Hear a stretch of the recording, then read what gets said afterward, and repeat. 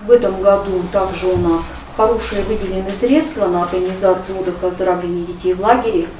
А, помимо этого у нас увеличено и количество путевок. Нам выделили 428 путевок вместо 308, которые выделяли первоначально в 2019 году.